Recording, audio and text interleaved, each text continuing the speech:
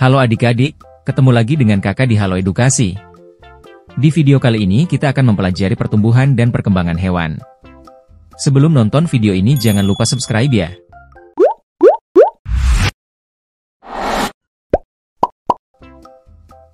Pertumbuhan dan perkembangan pada hewan merupakan proses yang menakjubkan, di mana makhluk hidup kecil berkembang menjadi individu dewasa yang lengkap dengan segala fungsi organnya. Proses ini melibatkan perubahan fisik, fisiologis, dan perilaku.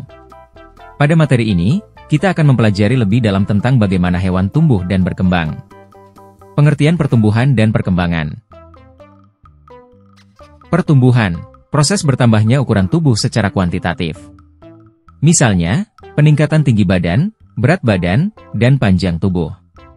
Perkembangan Proses perubahan kualitatif yang terjadi pada makhluk hidup, seperti perubahan bentuk, fungsi organ, dan perilaku. Jenis-jenis perkembangan hewan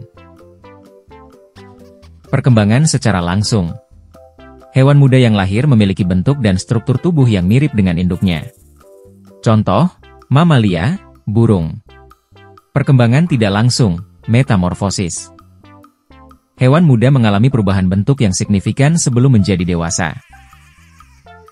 Metamorfosis Metamorfosis adalah proses perubahan bentuk yang terjadi pada hewan dari fase larva menjadi dewasa. Terdapat dua jenis metamorfosis, berikut penjelasannya.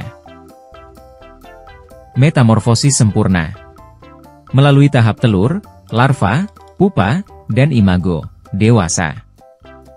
Contoh, Kupu-kupu, nyamuk. Metamorfosis tak sempurna. Tidak melalui tahap pupa. Contoh, belalang, kecoa. Faktor yang mempengaruhi pertumbuhan dan perkembangan hewan. Faktor genetik. Informasi genetik dalam DNA menentukan potensi pertumbuhan dan perkembangan hewan. Faktor lingkungan. Nutrisi, makanan yang bergizi sangat penting untuk pertumbuhan. Suhu, Suhu yang sesuai mempengaruhi laju metabolisme dan pertumbuhan.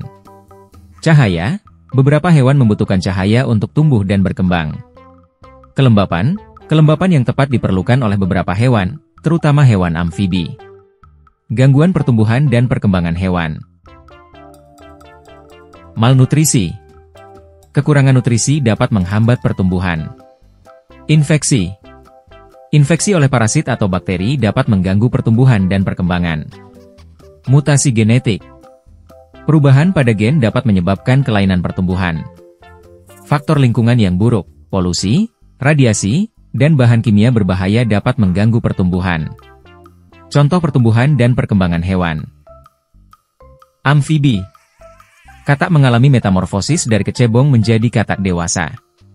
Serangga Kupu-kupu, nyamuk, dan lalat mengalami metamorfosis sempurna.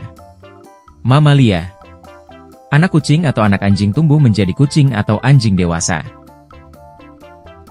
Pertumbuhan dan perkembangan hewan merupakan proses yang kompleks dan dipengaruhi oleh berbagai faktor. Pemahaman tentang proses ini sangat penting untuk memahami kehidupan di sekitar kita dan menjaga kelestarian lingkungan.